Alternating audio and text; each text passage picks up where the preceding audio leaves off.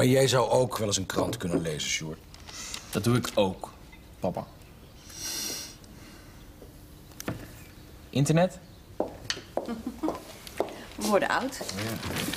hey, heb jij nou hier geslapen? Ja, Ook heb jij me niet horen thuiskomen? jullie lagen ook al. Ik ga je niet helpen. Als ze mij gaan vragen hoe het is gebeurd, ga ik ze vertellen exact zoals het is gebeurd. Niks meer, niks minder. Dat mag ook. Maar misschien zou je af en toe iets relativerends eh, kunnen... Nee, ook niet. En Lucas ook niet. Lucas al helemaal niet. Oh, bedoel je dat jij er eventueel... Hij heeft toch gezegd wat hij bedoelt? Mag ik even met mezelf van gedachten wisselen? Je stelt hem een vraag, hij geeft antwoord en dan laten we het bij. Graag.